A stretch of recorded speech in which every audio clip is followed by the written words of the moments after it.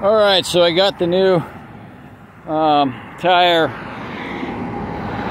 Well, I've had it for six months, but I got the good tire back on the on the vehicle in the right rim now after wheeling it over. I mentioned that there was a kind soul of a gentleman who gave us a ride part of the way back because I was wheeling it a mile and a half and he took us about half the way. It really helps when there's someone who helps, actually helps.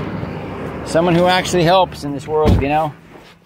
Wow. Um, okay, so the work goes on. I got to finish a painting job today and get paid. The money's completely out right now with all these expenses and extra work I've been doing without any negotiated extra pay. It's um, big mistake I've made so much in contracting. I just go the extra mile, but I'm not going to get paid for it, you know. So, um, that's why I like to work on my own, my own things, because then at least they'll be appreciated by somebody, and they'll be within my world of visibility. So let's let's start this thing. I, I, I mean, I'm nervous to even drive this thing now with all the breakdowns. Um, there still are issues with this vehicle. Like the radiator fan is not working. Um, I've got a temperature sensor. I can replace it. I need to do more, better troubleshooting. But it might be the the PCM.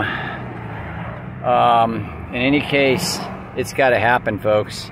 I got to size up a different relay and I got to switch and just something something's got to happen i got to have that fan running in this hot humid summer uh, fortunately the jeep hasn't totally blown up um, with the lack of a radiator fan always try to cut the engine when i'm at an intersection or something just try to run it where they got the air circulating like on the highway but anyways life goes on with these vehicles uh, i got another vehicle i got to work on today and i got to start driving it into town it's the Hyundai Elantra. Much better on the fuel. It's got a hitch on it and everything. I just, it's been out of commission for six months. I replaced the starter, but I got a muffler that's just detached and I've got a, a power steering out and there's a gear shift problem. So I, I but I, I, plan to start driving it. I, I, hope to fix some of those problems uh, here promptly and um, start saving some gas money because that's a lot better on gas than this Jeep.